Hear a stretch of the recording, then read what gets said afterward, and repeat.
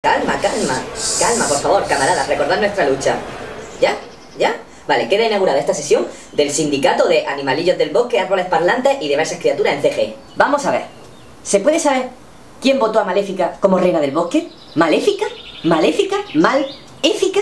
¿Os parece lógico esto? O sea, ¿Por qué no votamos al troll azul risueño? Tuvimos que votar a Maléfica, la que tiene nombre de diablo, la que tiene cuernos, la que solo le falta el tridente para ser el mismísimo Lucifer. Por favor, queremos un bosque república ya. No queremos estar bajo el yugo de Maléfica. Maléfica, el mal. Punto número 2 de la sesión. Estamos teniendo una serie de pleitos y cosas feas con James Cameron debido al parecido del bosque de Avatar con el nuestro de Maléfica.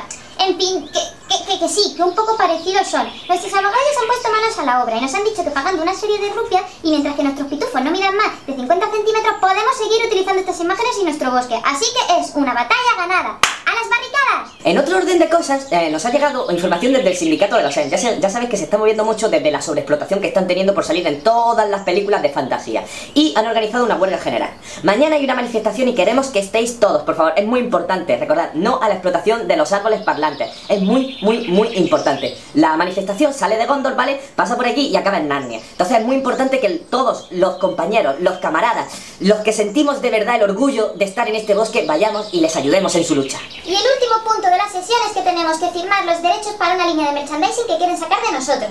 Vamos a ver, aquí tenemos que dejar las cosas bien, bien claras. Queremos nuestro propio spin-off. Si se lo dieron a los minions de Gru, nosotros no podemos ser menos. Queremos nuestro propio videojuego. Queremos nuestra propia serie de animación con una animación más chunguilla que la de la película, que siempre pasa, lo aceptamos, pero queremos nuestra propia serie de animación. Y queremos cabezoncitos de estos que ponen el coche que hacen ti, ti, ti, ti, ti, también. Camaradas, lo queremos, lo exigimos, es nuestra lucha, tenemos que luchar por eso y por nuestros derechos. ¡Por ¡Arriba!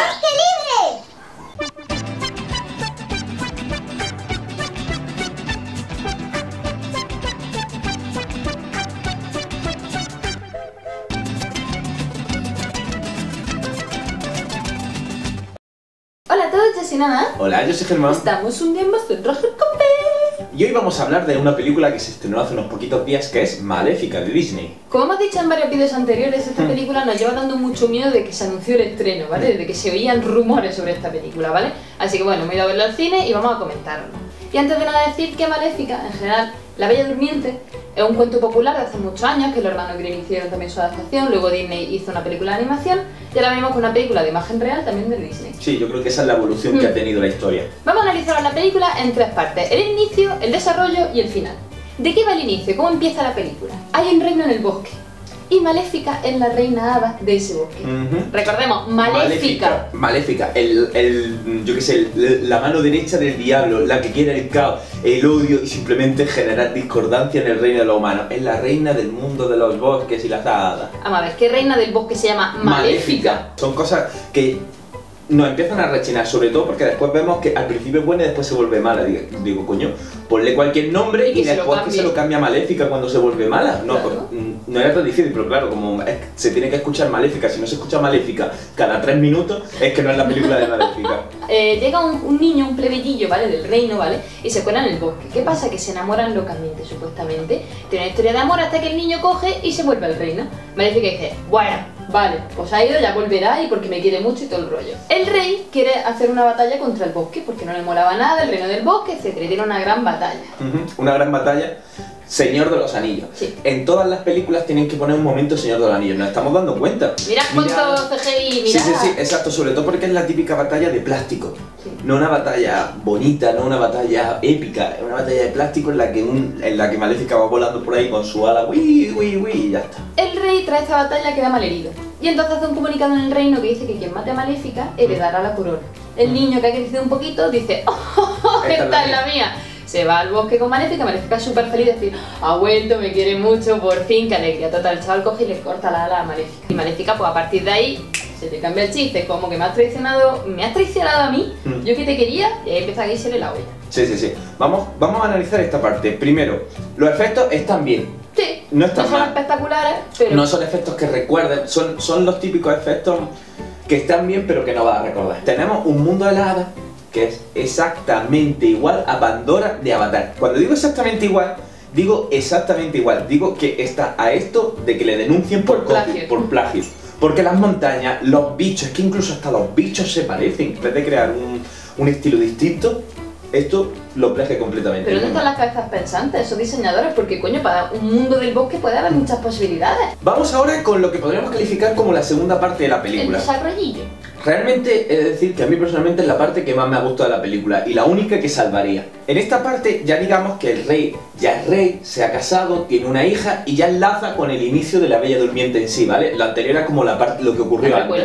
Entonces, ¿qué es lo que pasa? Que aquí lo que han hecho es, mm, por así decirlo, recrear escenas de la película, escenas de los dibujos animados, prácticamente plano por plano, pero con maléfica y con esto, como puede ser el bautizo, como puede ser esas cosas.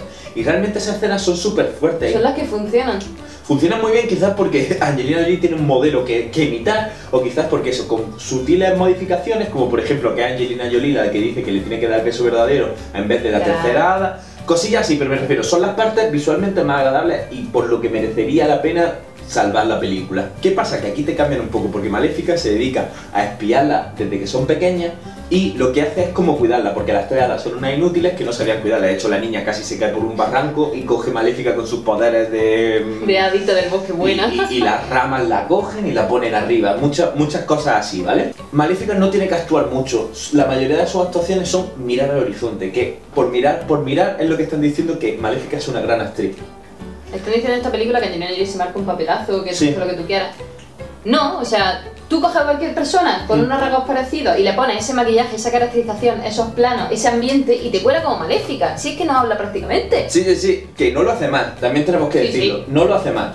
Pero tampoco es un papelazo, No ahí el, papel, ahí el papel lo hacen sus caracter lo que son los caracterizadores, es lo mismo. Cuando sale del bosque así, entre, dices que es maléfica, lo está haciendo Angelina Jolie de puta madre. No, Angelina Jolie está sacando morrito y con los ojos muy abiertos.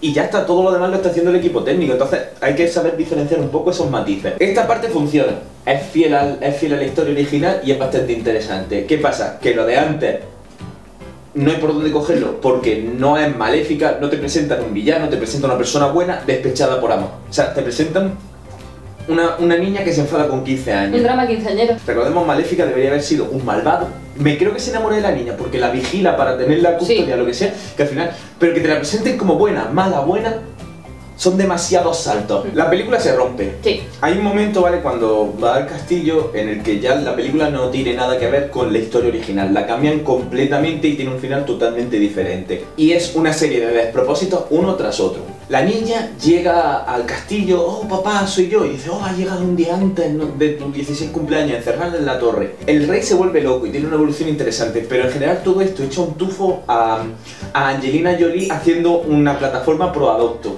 ¿Sabes? Porque es como Angelina Jolie que no tenía nada que ver con esa niña, por verla crecer ya se convierte en su madre verdad y el rey que si es su padre verdadero no quiere saber nada.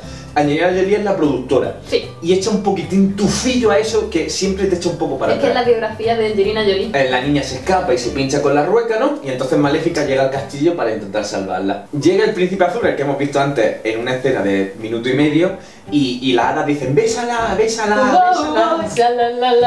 Le da un beso y no pasa nada.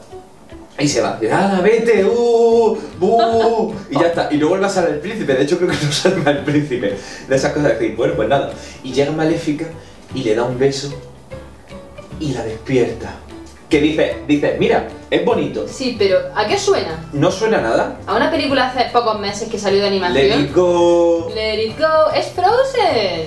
Funcionó en Frozen y lo han extrapolado puramente aquí, solo que en vez de ser hermana, hermana, es madre, e hija. Eso es lo máximo que se ha ocurrido, o sea, se le podría haber Vamos a copiar el de la Anilla. Vamos a copiar Avatar. Sí. Vamos a copiar Frozen y tenemos Maléfica. Y es ya una serie de despropósitos tras otra. Aquí llegamos ya al momento en plan de esto va a ser el clímax, vamos a ir subiendo, subiendo, subiendo, subiendo y esto va a ser espectacular y en realidad lo que van haciendo es bajar, bajar, bajar, bajar y calarla.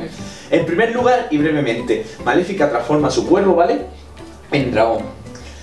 Esto nos parece el mayor insulto a todo, a cualquier persona que lo haya visto. O sea, es un insulto. lo más espectacular siempre del cuento de la Bella Durmiente ha sido como Maléfica se transforma en dragón. Cómo tiene ese poder y es un puto dragón negro gigante que echa fuego verde. Y aparte por la mago. boca. Sí, sí, sí, exacto. No podían permitir que la batalla final fuese CGI de Angelina Jolie. O sea, no saliese ella. Como ella es la que ha puesto el dinero, que es productora, es la actriz principal, y si no se dice cada dos minutos maléfica, no hay película, han puesto al Cuervo de Dragón y a Maléfica por ahí embutida en cuero al más puro estilo Tomb Raider dando volteretas y luchando contra todo. Vale, lucha contra todo y de repente la Bella Durmiente por arte de magia llega a un desván y encuentra una ala, las alas de Maléfica que las tenía el rey en una caja. Tira las alas, las alas empiezan a volar y se van a la espalda de Maléfica.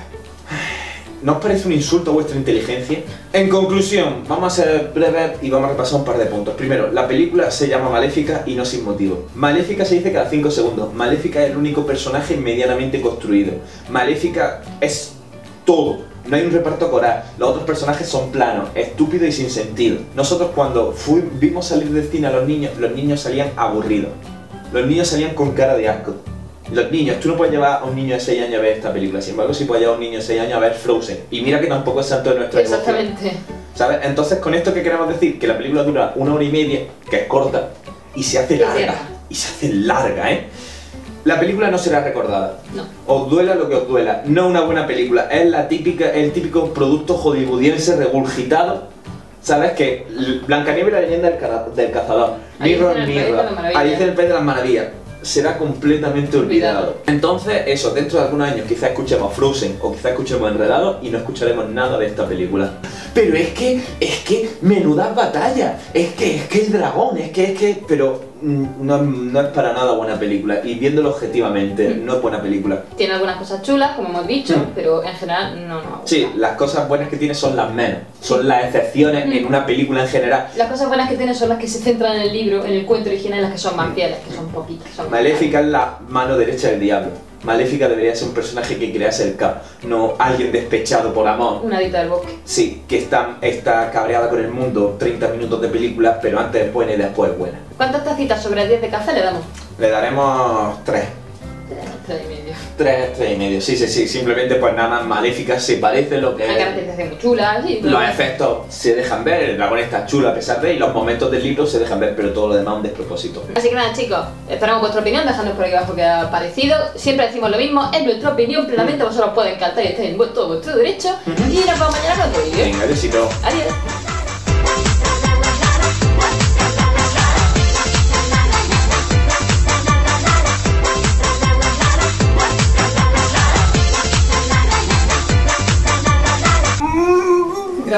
Ah, vale. ¿Cuál era? Maléfica el nombre. Vale, vale. Punto número uno.